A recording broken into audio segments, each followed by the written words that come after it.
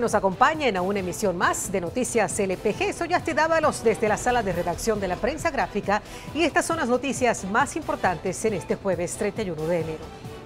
Un informe de Estado de la Nación determinó que, si bien es cierto, las oportunidades en el mercado laboral para las mujeres aumentaron, aún hay desempleo de esta población en Centroamérica. La publicación Estadísticas de Centroamérica 2018, desarrollada por el proyecto Estado de la Región, destaca que la brecha entre la tasa de desempleo femenina y masculina creció durante el periodo 2000-2017. Una de las razones es que el aprendizaje es más limitado en las mujeres que en los hombres y esto crea una barrera en la vida laboral y productiva. 32 miembros de pandillas fueron trasladados al centro penal de Zacatecoluca. Los detenidos están siendo acusados de asesinar agentes de la Policía Nacional Civil durante los primeros días del mes de enero. El director de la PNC, Howard Cotto, dijo que la mayoría de los detenidos pertenece a la Mara Salvatrucha y que hay uno que es miembro de la pandilla 18. El director policial informó además que entre los detenidos se encuentran 24 cabecillas de la MS-13. Por su parte, el ministro de Justicia y Seguridad Pública, Mauricio Ramírez Landaverde, destacó que desde el 18 de enero se ha visto una disminución en los homicidios.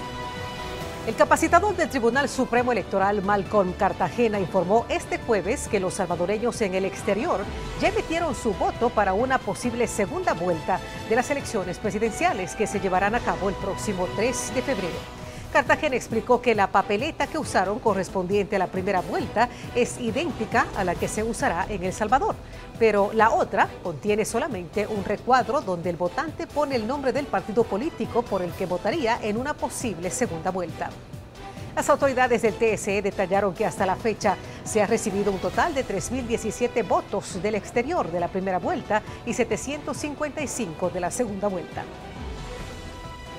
Al menos 11 muertes se contabilizan debido al frío polar que afecta al medio oeste de los Estados Unidos. Entre las víctimas fatales se encuentra una pareja joven que murió en un choque de automóviles en una zona rural de Indiana y tres más en Iowa, entre ellas un estudiante universitario de 18 años que fue encontrado a la intemperie en el campus de la Universidad de Iowa. Según las autoridades de salud, los hospitales han informado sobre decenas de pacientes atendidos por síntomas de congelamiento.